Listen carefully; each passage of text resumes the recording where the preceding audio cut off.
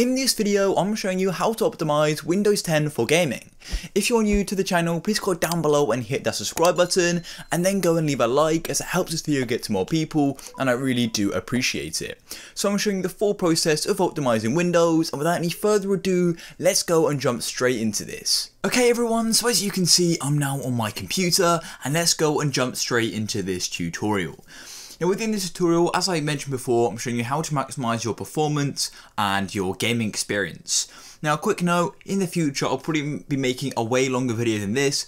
In this video I just wanted to see if people are interested in it and uh, if you guys want to see more of it. Anyways, let's go and jump straight into this. So the first thing I recommend doing is actually going down to your search icon and simply go and search for settings. Settings is basically where your control center is for Windows and there are so many options we can go in here. And once you're here, all you want to do is click find a setting and simply search for updates. Now I recommend going and updating your computer to the latest Windows update.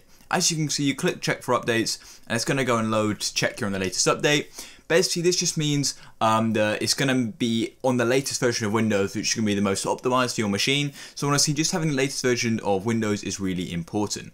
So as you can see, I have got to an update, which I'm going to do. So once you've got an update to your machine, then come back to your settings. Simply come to system, and all you want to do is simply scroll down to notifications and actions. Now, stuff like this, honestly, it just slows down your PC. It's constantly trying to check stuff. So what I recommend doing is simply turning off and then it's going to go and turn everything off for all of your applications.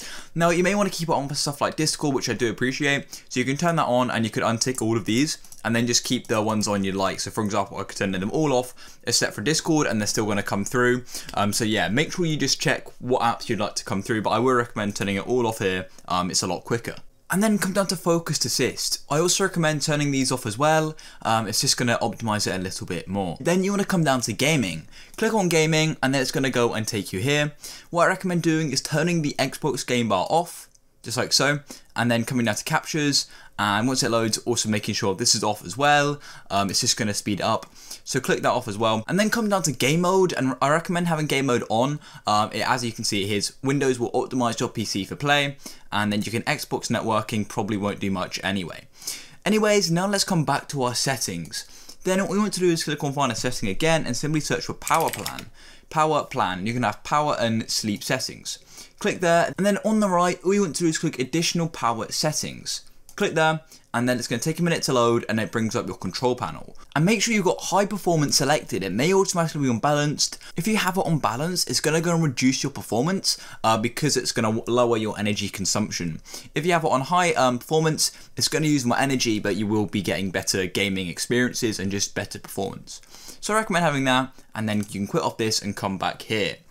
Now, another awesome thing to do, I recommend is quitting off your settings, is going and deleting your temporary files.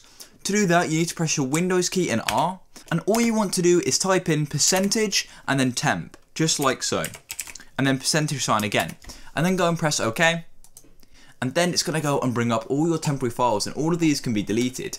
So you want to do is simply drag it down like this and select them all, and then go and press delete by pressing delete on your keyboard. And then it's going to go, and as you say this, as you can see, uh, you may have to skip a few if they don't get deleted. Um, I'll just skip them all, just like so and uh, then we can go and we'll need to go and clear them from the recycling bin as well as a quick note um, but that's honestly really easy to do so then I'm just going to continue this and hopefully it's almost finished. It's been doing it for a while now and uh, then we can go and delete it from our recycling bin. To do that, you want to come onto your desktop and find your recycling bin and then you can go and simply go and do Control A and you can go and press delete and then you can go and permanently delete these files and that's going to go and speed up your PC a lot um, and I'll click skip there. Now let's go and get into this next automation. So what we want to do is come down to your search bar down here and simply go and search for task manager just like so you've probably used uh, task manager before when say trying to force quit a program and all you need to do is come along this top bar to startup then it's going to go and list all of the programs which start up automatically when you launch your PC. Now this is going to drastically improve your performance when you start turning your PC on. If your PC takes a long time to start up, I recommend disabling some of these apps you don't use when you start up your PC. It's going to reduce the time taken for your PC to be ready to be used and to be fast. So for example, you can go and see the startup impact and 1Password is high. So I could go and right click on this So click on it and then right click on it and go and click disable and then it's going to disable it when I start my PC and I'll have to manually launch it to go and use it. So that's something you've got to remember. I personally do quite like it being there um, even though the, the startup impact is high. However, you may have a load of these which you don't want to launch when you first turn on your PC which you could then go and turn off. I've already sort of optimized this personally but I do recommend going and doing this for yourself. Now I want to show you a quick software you can go and use. So come to your search browser and simply go and search for a program called Malwarebytes. Malwarebytes is a free program, um, there is a paid version for it, but it's honestly a really cool program and it's going to go and remove any malware, any spyware as this will drastically be slumming your PC and there is a free version as I just mentioned. So as you can see it's now downloaded it, I'm going to go and quickly install it and then all you want to do is click on personal computer and then go and click install.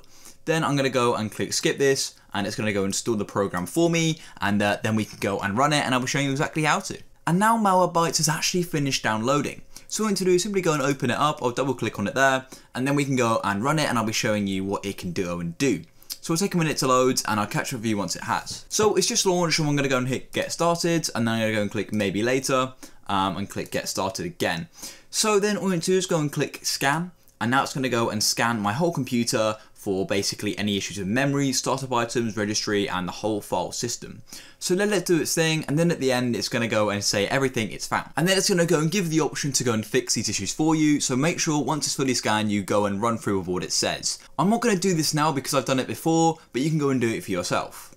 And the final thing I do recommend doing is simply right clicking and then you're going to have this option here. If you have an NVIDIA graphics card, you're going to have the NVIDIA control panel. Now what you want to do is make sure you get the latest version of this on the NVIDIA site and you can go and open it up and this is going to give you options to go and optimize your graphics card. NVIDIA control panel has now loaded and here we are. Now if you don't know what it does, essentially what you can do, you can change all of these settings um, to go and optimize it fully to go and allow your graphics card to be fully running towards quality or performance. I've made a whole video covering the best settings you can use to be able to get the highest performance out of your graphics card.